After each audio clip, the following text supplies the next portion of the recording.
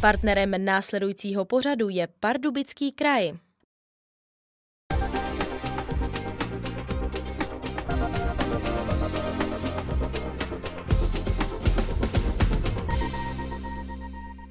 Dobrý den, vítám vás u dalšího dne s Pardubickým krajem. Tentokrát si budeme povídat o bezpečnosti v kraji. Spadnout do dluhu je v dnešní době snadné. Své o tom vědí lidé, kteří se do takové tíživé situace dostali. Občanské poradny se jim snaží pomoci. Naše redaktorka hasičkou a záchranářkou Kateřina Duvková si tyto dvě náročné profese vyzkoušela na vlastní kůži. Co si děti z mateřské školky myslí o dopravních policistech a silniční bezpečnosti? To a mnohem více se dozvíte už za chvíli. Podle průzkumu z loňského roku nemá čtvrt milionu lidí ani na jídlo. V tíživé finanční situaci jsou nejenom mladí lidé a lidé středního věku, ale také někteří seniori. Ti se totiž často stávají terčem útoku podvodníků a k zadlužení už potom mají jenom krůček. Pardubický kraj se proto rozhodl vytáhnout do boje proti dluhům. Do dluhového kolečka se může dostat každý z nás. Pardubický kraj ve spolupráci se společností Most Pro proto pořádá semináře o finanční gramotnosti. Zaměřují se hlavně na seniory, kteří jsou v mnoha situacích velmi důvěřiví. Pardubický kraj dlouhodobě finančně podporuje občanské poradny, které se mimo jiné zabývají dluhou problematikou a také na přelomu eh, loňského a letošního roku jsme uspořádali řadu seminářů pro veřejnost a především i pro seniory, kteří jsou určitou cílovou skupinou, které jsou ohrožení dluhy. Abyste si zapamatovali, že opravdu co cokoliv podepisujete, je velmi důležité si předtím přečíst. Podpisem domělé prezenční listiny se tak snadno připraví klidně o tisíc korun. A dále se zavazují k zaslání jednoho tisíce korun na transparentní účet organizace Most pro OPS do konce roku 2016. No to je léčba šokem. Prostě jelo to po stole jako prezenčka, no tak automaticky se tam podepisují. No protože jsem jim věřila že tam nebudou mít něco jiného napsaného, než jenom, že to je prezenční listina. To byl podvodník. K nám se zpravidla klienti dostanou eh, ve chvíli, kdy už je takzvaně pozdě a když už dojde k vymáhání dluhů, když třeba spodepíšou nějakou nestandardní smlouvu nebo neetickou smlouvu, nekorektní. Spíš až v té, v té další fázi to řešíme když už eh, to postoupí a když už tam prostě jde o peníze a když už je nějaké vymáhání. A já už tu mám hejtmana Pardubického kraje Martina Netolického. Dobrý den. Dobrý den. Proč se Pardubický kraj rozhodl bojovat proti dluhům svých občanů? Tak eh, my se domníváme, že především eh, seniori jsou ta ohrožená skupina, protože eh, se objevují nejrůznější inzeráty, které vypadají na první pohled velmi lákavě a ono ve skutečnosti špatně informovaný člověk třeba nevyhodnotí situaci úplně dobře. A my chceme zabránit tomu, aby lidé naletěli různým nabídkám a chceme především upozornit na to naší kampaní, kampaní Pardubického kraje. Já myslím, že přestože to není přímo v naší kompetenci, protože my se staráme eh, spíš o zřizování sociálních ústavů, domovů pro seniory eh, v sociální oblasti, tak eh, myslím, že ta informovanost je podstatná a že ne úplně v České republice je na vysoké úrovni, proto Pardubický kraj přistoupil k jakési kampani a myslím, že je o ní docela i zájem. Když bychom to vzali z vaší strany, jak se vy díváte na problematiku, co se týká dluhu a máte třeba i ve svém okolí nějakou zkušenost? Bohužel eh, těch zkušeností v poslední době je celá řada. Paradoxní je, že to není pouze eh, seniorská, eh, seniorská generace, která je podle mě nejvíce ohrožena, ale jsou to i mladí lidé.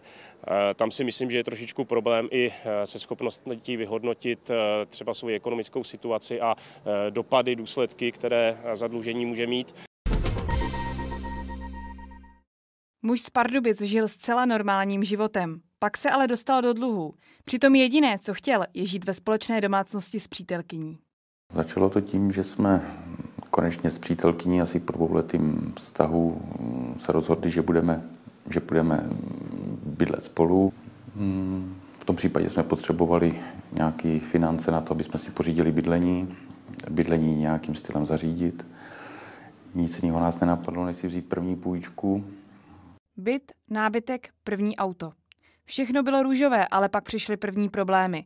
Takže další půjčka. Do dluhového kolečka se pak dostanete velmi snadno. Skoro celá moje vejplata pokryla jenom splátky na ty dluhy, na ty úvěry. V té době se pár rozešel. Skoro všechny společné úvěry si muž vzal sebou a snažil se je splácet. Půjčky se ale stále kupily. A dopadlo to přesně tak, že jsem musel řešit půjčku půjčkama, protože tam začaly naskakovat penále, pokuty. A asi bych to nikomu nepřál, protože poslední tři roky vlastně nikde nebydlím. O dost známých a kamarádů jsem přišel. Mám pocit, že se vás všichni začnou stranit, jestli mají strach, abyste je nestáhli sebou, nebo z jiných důvodů, to netuším, ale kamarádi hrozně chybějí. Takhle se žít nedá.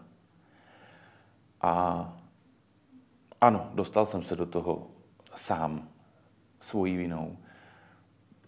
Nechci říct, že bych nedokázal počítat, ale v tu chvíli, když opravdu potřebujete ty peníze, přiznat si to, že to člověk už opravdu nezvládá a musí vyhledat pomoc, mě trvalo hrozně dlouho. Člověk přemýšlí o tom, jak skončí se životem. Do poslední chvíle jsem se snažil všechno platit. Naskakovali tam všelijaký penále a pokuty. A i to jsem se snažil vždycky dorovnat. Třeba opožděně, ale snažil. Je to nějakých 8 let a poslední tři roky to dopadlo tak, že všechno, co jsem měl, jsem musel prodat a poslední tři roky nemám vůbec nic. Kolega na mě teda zaklekl s tím, že ať vyhledám pomoc občanskoprávní poradny a tady zaplať pámbu, jsou dámy, jaký jsou a všechno mě vysvětlili. Um, pomohli mi uh, i v tom, aby, abych si dal uh, všechny dokumenty, papíry um, dohromady. Tady mě poradili a teďka jenom čekám na to, až soud teda vyřkne a uvidíme, co bude dál. A jak občanská poradna v této situaci může pomoci? Pomůžeme určitě právními informacemi, pak eh, našim klientům pomáháme s vyplněním insolvenčního návrhu a vlastně s tou finální kompletací i pro insolvenční soud. A víceméně mm, toho klienta provázíme celým tím eh, procesem toho, toho odlužení. V případě, že vlastně on sám o to, o to zažádá. Jak je vidět, poradny opravdu lidem pomáhají. Klient pardubické pobočky už myslí na budoucnost. No, asi bych chtěl založit rodinu, chtěl bych bydlet, chtěl bych být bez dluhů. Mně by stačilo být jenom bez těch dluhů. Od bezpečnostních opatření proti dluhům se už za chvíli dostaneme k akční bezpečnosti. Nastoupí totiž například policisté, hasiči nebo záchranka. A za malou chvilku na nás také ještě čeká na vlastní kůži.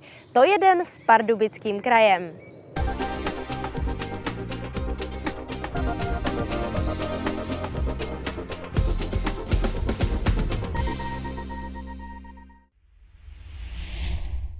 Partnerem pořadu byl Pardubický kraj.